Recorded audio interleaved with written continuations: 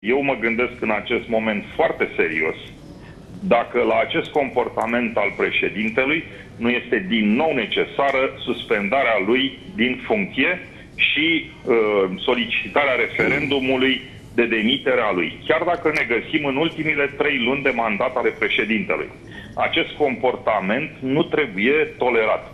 Dacă Traian Băsescu încalcă Constituția, pune în pericol uh, interesele naționale, nu trebuie să așteptăm până pe 22 decembrie. Nu vom accepta și nu are cum Traian Băsescu să mai dea o lovitură de stat. Vreau să vă confirm că tot mai multe voci din PSD vorbesc despre posibilitatea suspendării lui Traian Băsescu. Erau voci care spuneau, că nu are sens să mai suspendăm, că mai sunt două luni jumate. Ei, iată că au început să-și dea seama că nesuspendat, în fiecare zi, în fiecare clipă, în fiecare secundă, Traian Băsescu trebuie să mai facă ceva rău. Există două posibilități de suspendare.